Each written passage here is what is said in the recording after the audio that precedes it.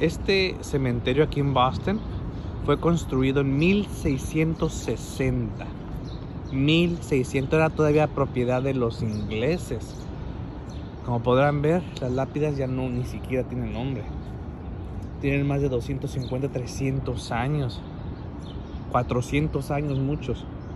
Bueno, van para 400 años, no 400. Uno de los panteones más viejos del país, de aquí de Estados Unidos, como podrán ver.